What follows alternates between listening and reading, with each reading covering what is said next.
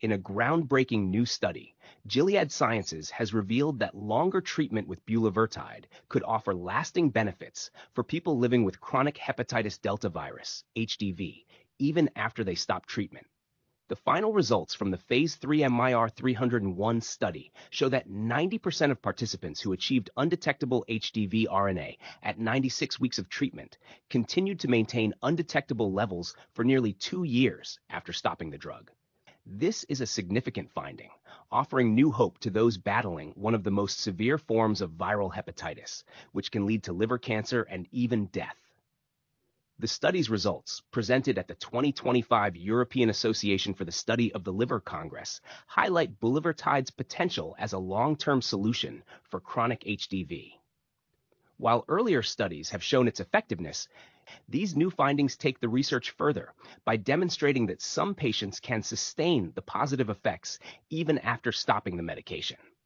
The study also reveals that the longer the treatment duration with undetectable HDV RNA, the more likely it is for patients to maintain these undetectable levels once treatment is stopped. And for those who stayed undetectable for a year, there were no relapses during the second year of follow-up. This advancement is particularly exciting for patients who are looking for sustainable treatments that can manage HDV long-term without the need for continuous medication. And while serious liver-related side effects did occur in some patients, they were resolved in most cases when treatment was resumed, offering reassurance about the overall safety profile of bulevirtide.